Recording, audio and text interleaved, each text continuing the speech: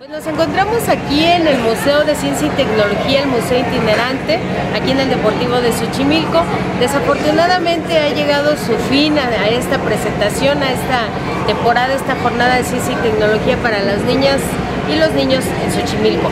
Bueno, pues también, y quiero comentarles también que el, día de hoy se cumplió una meta, una meta que ni nosotros nos esperamos, 10.000 visitantes aproximadamente, logramos, eh, logramos traer la ciencia al alcance de los niños y las niñas en Xochimilco.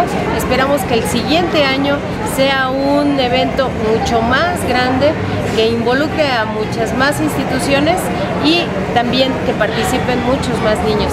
Muchísimas gracias por su confianza, muchísimas gracias por visitar el Museo Itinerante y esperamos vernos en el próximo año. Muchas gracias.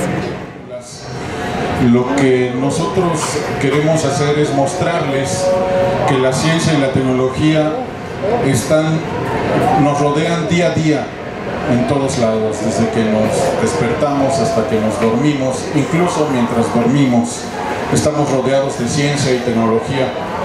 Y es importante que ustedes sepan que la ciencia y la tecnología son fundamentales para el desarrollo no solo de las personas, es decir, los niños pueden dedicarse a la ciencia, pueden convertirse en científicos y no necesitan ser sabios ni nerds ni gente superdotadas. Lo único que necesitan hacer es dedicarse, ser disciplinados, empeñarse en convertirse en científicos y lo van a lograr. Gracias. Siendo entonces las 14 horas con 37 minutos del día 30 de octubre, se da por clausurada esta gran actividad Museo Itinerante de Ciencia y Tecnología en la Delegación Xochimilco. Gracias.